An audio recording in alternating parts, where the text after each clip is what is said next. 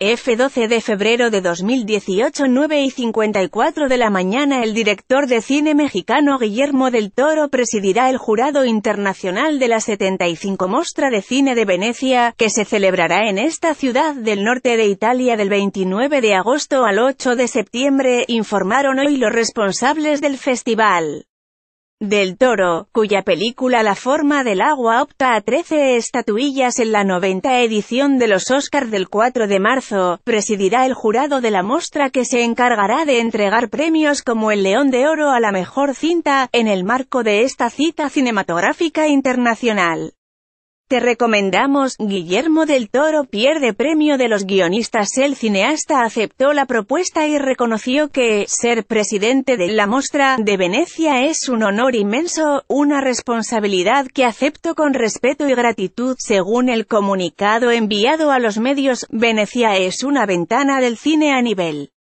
mundial, una oportunidad para celebrar su fuerza y su relevancia cultural, añadió, precisamente del Toro, quien también es actor, escenógrafo y escritor, participó en la 74 Mostra de Venecia del pasado año con La forma del agua, que se alzó con el León de Oro al mejor filme.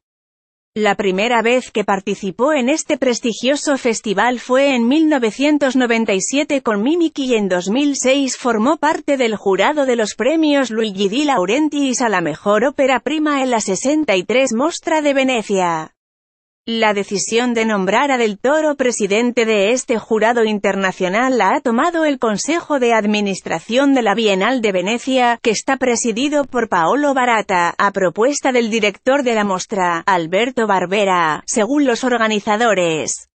Barbera ha señalado que, Guillermo del Toro es la generosidad hecha persona, la cinefilia que no mira solo al pasado y la pasión por el cine capaz de emocionar, conmover y al mismo tiempo hacer reflexionar. Te recomendamos, las nominaciones del Oscar 2018 para Guillermo del Toro, posee una imaginación ardorosa y una sensibilidad